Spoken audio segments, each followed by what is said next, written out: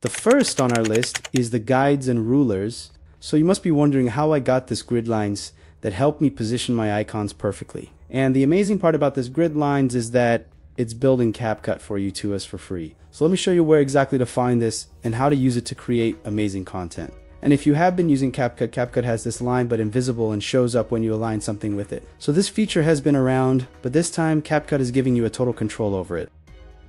To use this grid line first, come to this side of the preview window and click on this icon here, and you will find guides and rulers here. So what I like to do first is to enable the ruler first. So just click on show rulers and you will see this ruler here around your video on the preview window. So now let's bring in some lines on the screen. So click on the same icon again, go to guides and rulers, then I will select add horizontal guide. And this horizontal line will be placed in the middle, but you can also move it to anywhere you want on the screen.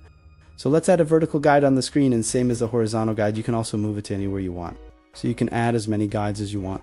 But here is the catch. There is an easy way to add these guides to your screen. And this is by using the ruler on the screen. So if you want to add a horizontal guide first place, the cursor on the horizontal rule, and as you can see, the cursor will change. And all you need to do is click and drag it to where you want. And you can use this same method to add vertical guides. And also, if you want your guides to align with the numbers on the ruler, just right click on the guide, then you will see two options and you can delete the guide or edit it. So click on edit guide and this window will appear. The first option, you change the unit to either pixels or percentage, and on the position side, you type the number on the ruler you want to align your guide with, so you can do it for all the guides to have the same space. So now, I am going to add this Instagram icon to the timeline, then resize it and place it on the right. And since I have guides on the screen, positioning my icons won't be a problem and am going to add another icon. And instead of struggling to align these icons, the guides and rulers feature in CapCut has made it very simple and easy.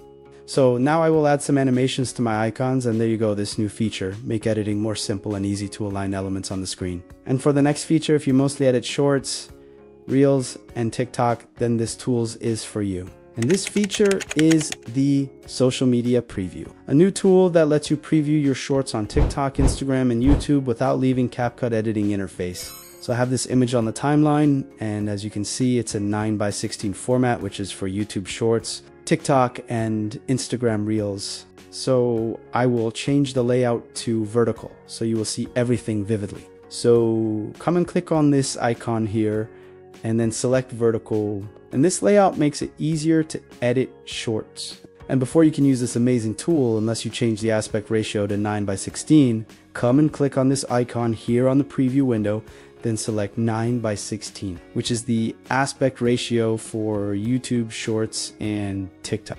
And after changing the aspect ratio, this icon, which is the social media icon, will pop up.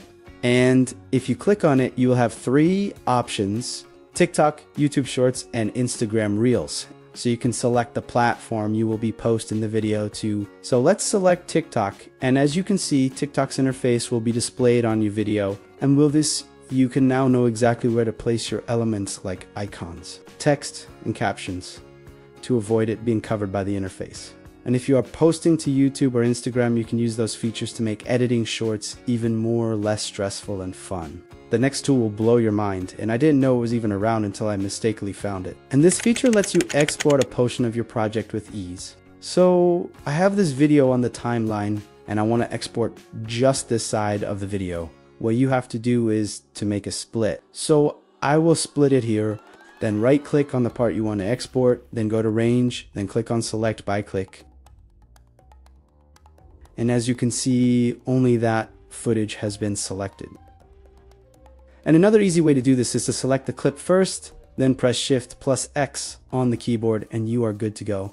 So now when you are done, go to export. Then you can change the name, file, location, and resolution. And when you are done, export your video onto your computer. Now the next tutorial, let me show you how to create a border around you image. First, you have to import your background to the media panel. So I will be using this orange background for this tutorial. And four, does that don't have these background, I will show you how to get some in CapCut. So keep watching the video if you want to find out. Now I will add the background to the timeline and then extend the duration a bit. And now I will place my main video on top of the background, then trim the background to have the same duration. Now select your main video, then resize it a bit. Then after that, resize your background to fill the screen. While your background is selected, go to Mask, click on Add Mask, and select Rectangle Mask.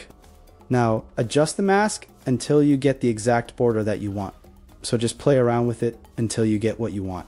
And when you are done with your border, select the two clips and create a compound clip.